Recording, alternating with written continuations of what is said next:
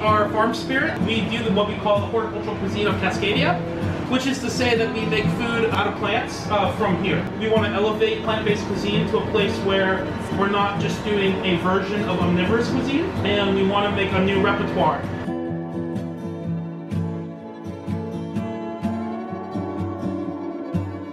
Carrot custard that is cascaded down on the plate, carrot tartar beside it, carrot aerated juice, and then carrot leaf and flower.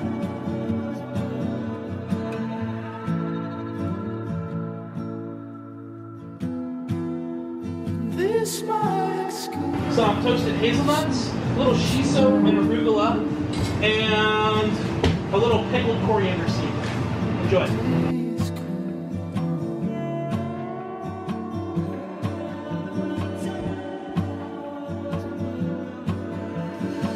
Take tomatoes, we chop them up, salt them, and we put them in a cloth bag we let them just kind of hang and drip. And the juices just come out and pass through a fine paper filter. So it has beautiful tomato flavor, a great balance of acidity. This is paradise. For this next course, we have some blueberries and cucumbers, along with the celtuce, which is the other vegetable there. It's a lettuce that's been cultivated for its stem rather than for the leaf.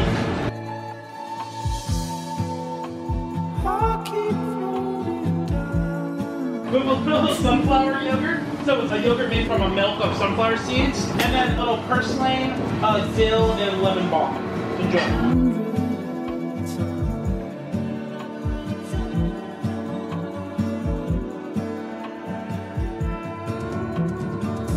So it has a really nice, like, kind of juiciness to it, with a crumble of alliums, that's onion and garlic, that's those are, have been compressed in vinegar and dehydrated, and then served alongside a crumble of fermented sunflower seed puree. How is it?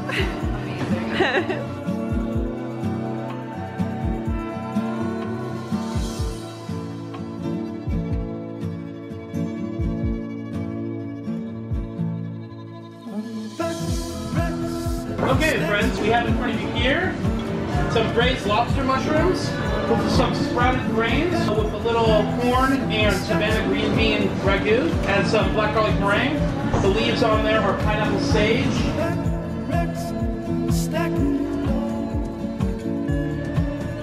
We have of you here a little intermezzo uh, beverage. It is a golden raspberry kefir.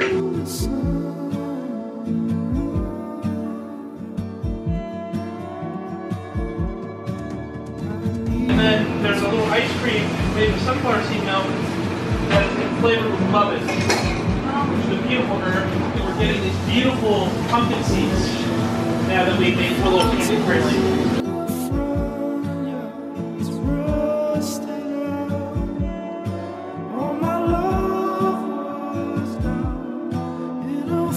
Here at Farm Spirit try to retain our kind of childlike state. It allows us to continue to have one sense of like being excited by things that are new. We have for you a little gift to take home. Uh, we have a little uh, zucchini rhubarb bread that Chef Ricardo baked off for you. Thank you so very much for coming in and dining with us tonight. I hope to see you all again. We just finished dinner and that was honestly the best meal that I have ever had in my life. Like I was seriously savoring every single mouthful. And the food was so beautiful and you could just tell so much time and effort was put into the food and it's just so inspiring and it really inspires me to want to get back into the kitchen and create awesome things.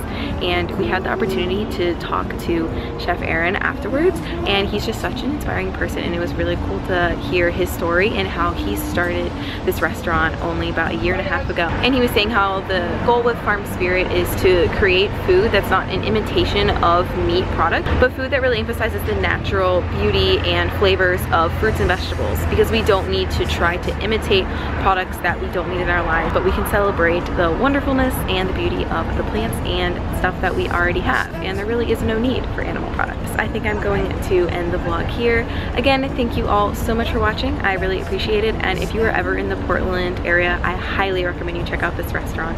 I will seriously be dreaming of it for days to come. All right, thanks guys. I'll talk to you later. Bye.